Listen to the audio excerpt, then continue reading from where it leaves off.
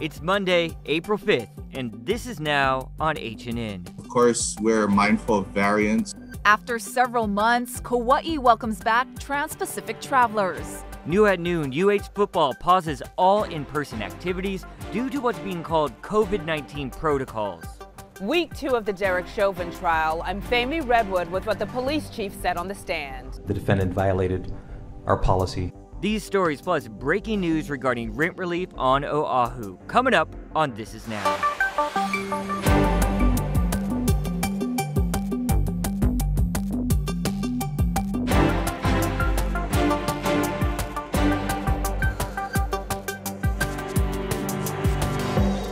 Um, as you know, the, the county does uh, issue their orders uh, and the framework um, for the tier system is actually in the county order.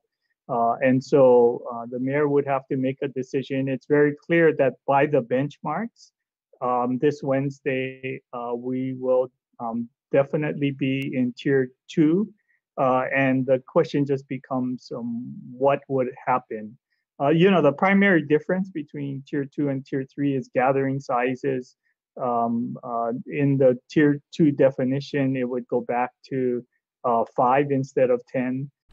So that was Governor Ige this morning on the Star Advertisers Facebook feed created a little bit of confusing, making us think, are we going back to tier two or not? Well, Mayor Rick Blangiardi just moments ago at another press conference said he is dead set against rolling back tiers. We're going to follow this all day long here at HNN. Governor has a press conference coming up at 2:30, so I'm sure he'll get more questions about that as well. Meantime, we just got those numbers from the State Department of Health seconds ago. Ashley, what were they? So the State Department of Health is reporting 95 new cases today and no new fatalities. We'll have the breakdown for you on our HNN digital platforms. Meanwhile, Honolulu Mayor Rick Blangiardi, he just wrapped up a press conference on a new rent relief program for Oahu households. Here's what he had to say just a short time ago. We are finally in this hour of something that we have been working very diligently on for some time now, and that is uh, the beginning of our rent and utility relief program. We're really fortunate to get $114 million from the federal government uh, to hopefully be able to distribute to those most in need in a very equitable uh, and expeditious manner. We hope to be able to do this very efficiently. In order to be eligible for the program, Oahu households need to show certain qualifications, such as a reduction in wages or has qualified for unemployment benefits. At least one household member is at risk of losing their housing. Now, households that meet the requirements can receive up to $2,500 a month for rent and utilities for up to a year. The current program can pay current bills, future bills or bills going back to March 2020, and payments will be made directly to landlords and utilities, and landlords can actually apply on behalf of their tenants. Now, we'll have all this information posted on our website right now at hawaiinewsnow.com. Let's get to, some more news developing right now. Let's take a live look outside Ala Moana Beach there. You can see some surfers lined up there and some par- parasailers in the background. While lots of people are still coming to the state right now with spring break and that holiday weekend, we've seen almost 580,000 Trans-Pacific arrivals in the last month alone.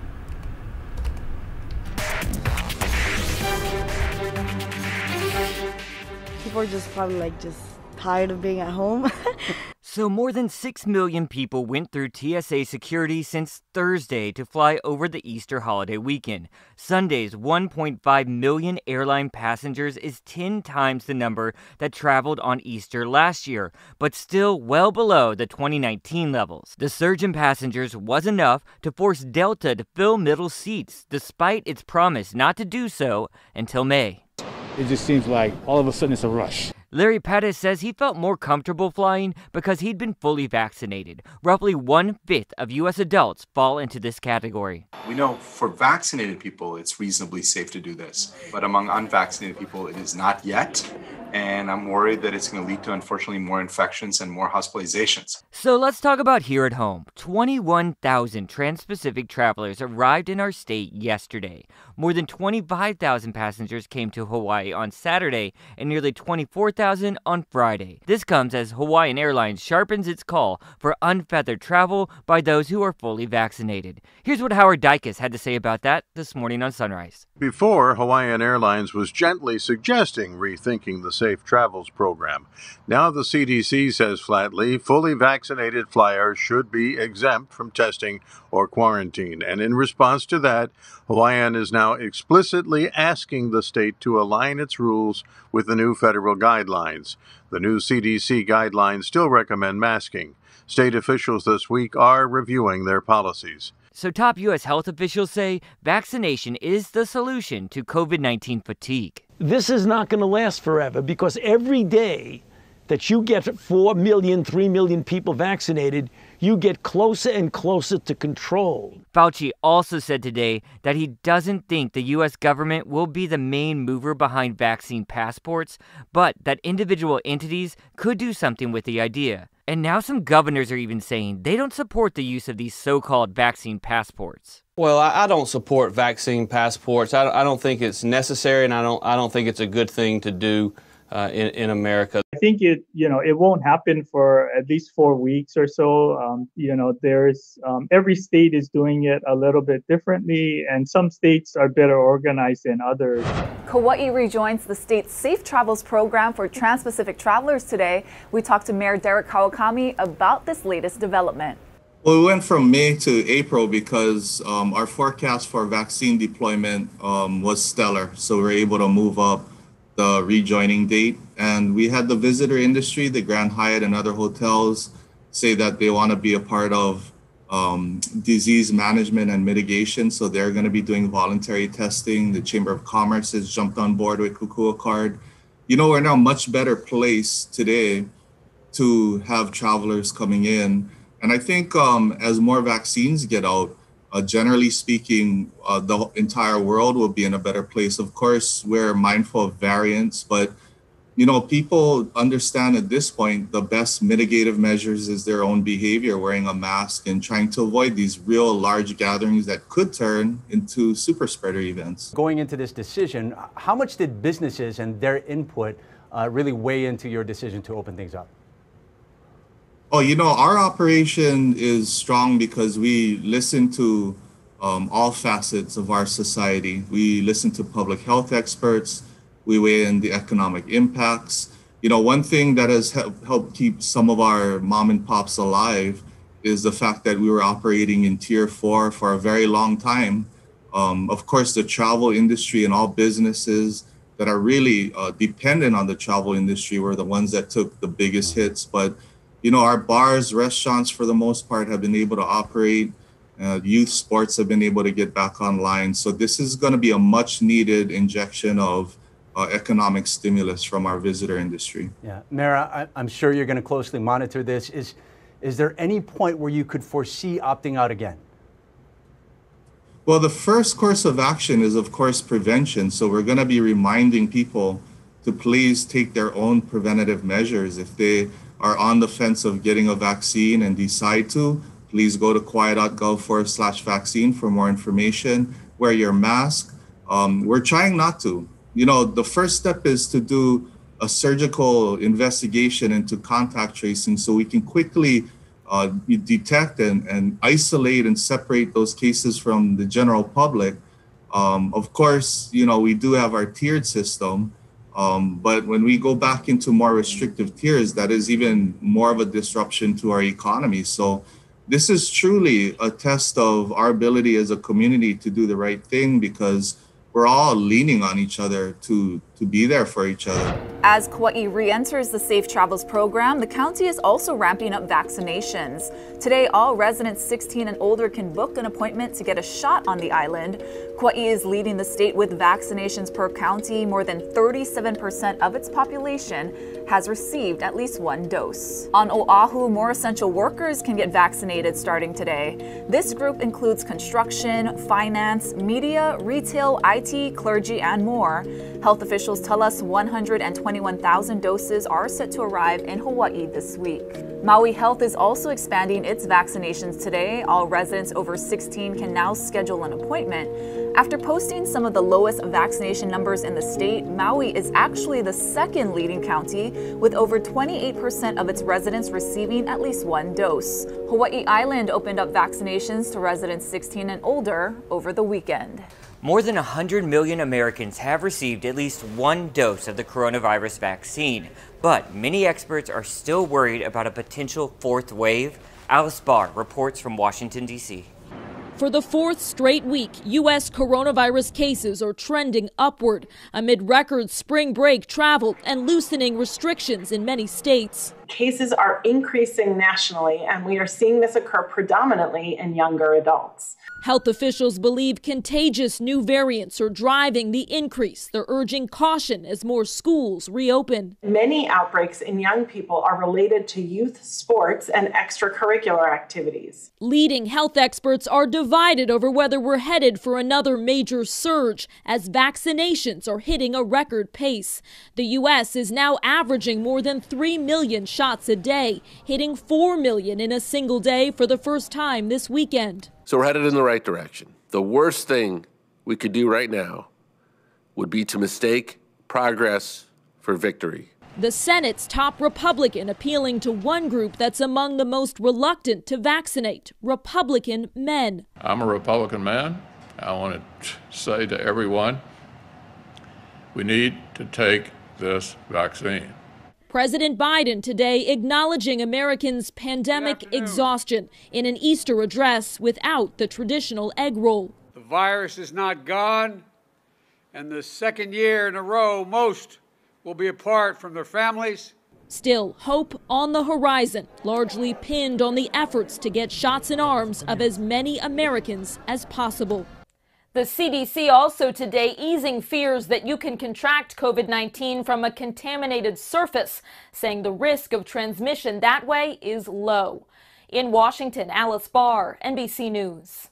New at noon, the UH football program is taking a temporary pause to all in person activities and spring practices due to COVID 19 protocols. In a statement released by the university, UH says that all team meetings will be held virtually and practices will be postponed for the next several days. It was not specified in the release if a member of the program contracted the virus, just saying protocols are being followed. The Bows started their spring training camp last week with a 15 practice schedule running through the end of April. No word on if missed practices will be made up at a later date.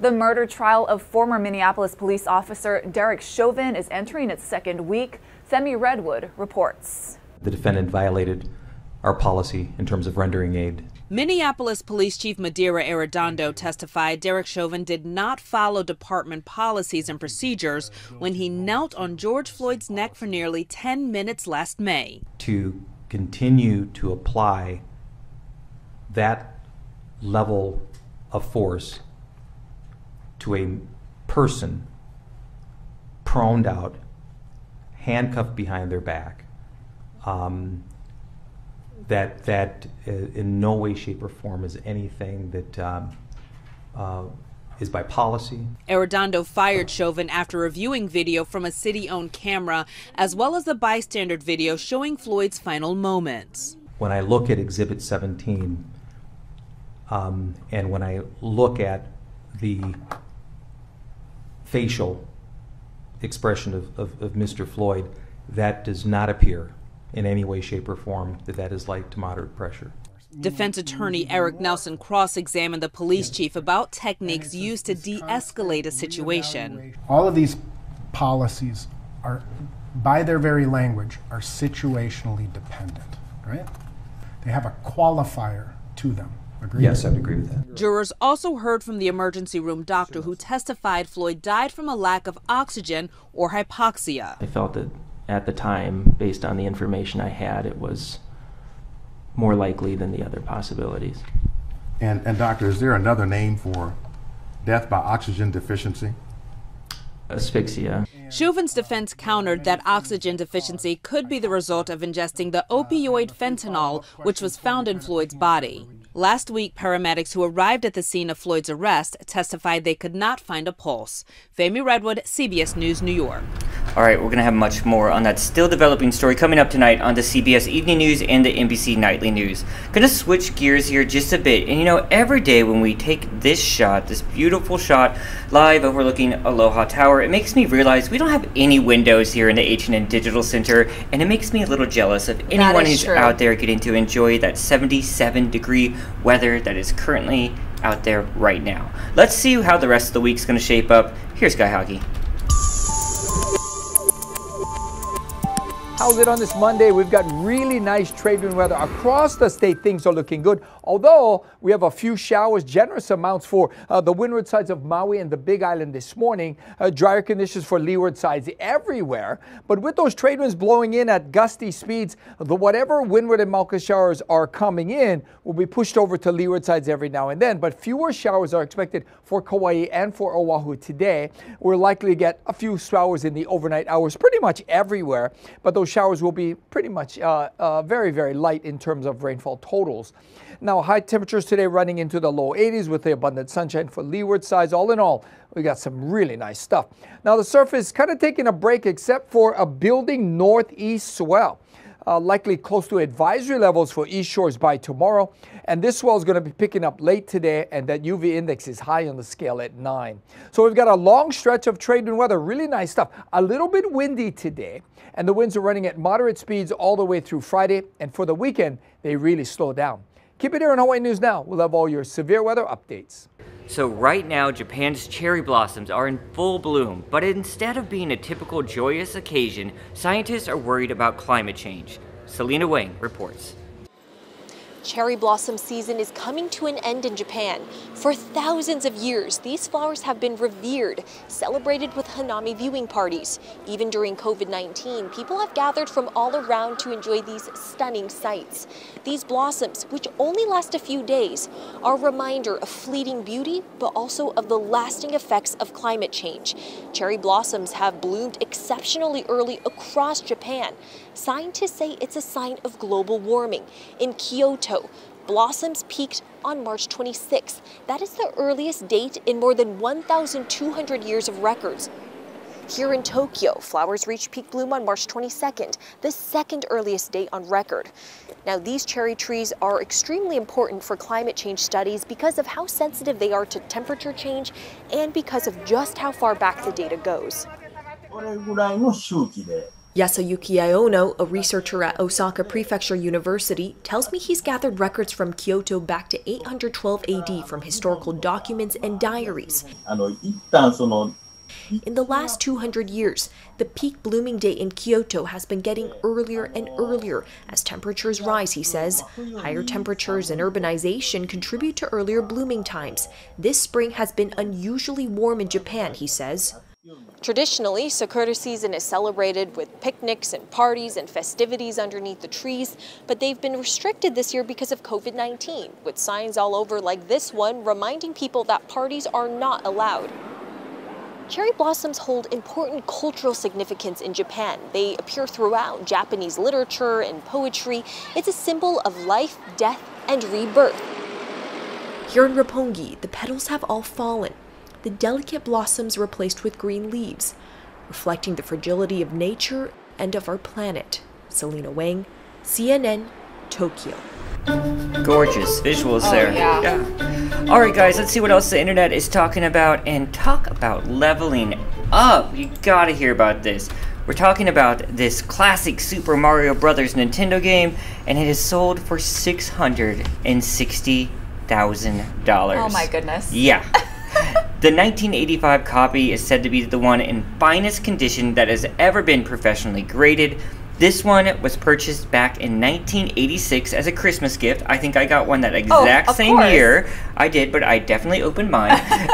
it was placed inside a desk drawer and forgotten for 35 years. Who would do that to Mario? Who doesn't open it? I know.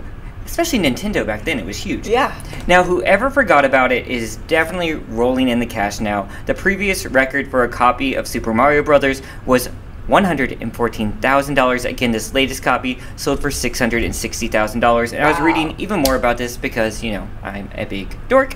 And why this one is really special is just only for a few months, really, when they produced this game. It was put in shrink wrap and then they changed that plastic wrapping. Uh-huh. This one still has the original shrink wrap Got around it. it. So it makes it even more special. Did you used to collect um, Pokemon cards back in the day? No, but I'm hearing Those are worth a it. fortune now. Me and my brother would collect them, and we don't know where they are. Why did I go for the X Men cards? Why? They're worthless. I wor- I saw the Pokemon story and looked up my X Men cards, which are still in my mom's basement. Yeah. Yeah. No Maybe luck one. Yeah. So, John, do you know what you and Bobby Flay, the chef, have in common? Uh, meow. Yep, you guys are cat people. So, Flay is announcing his newest venture, cat food.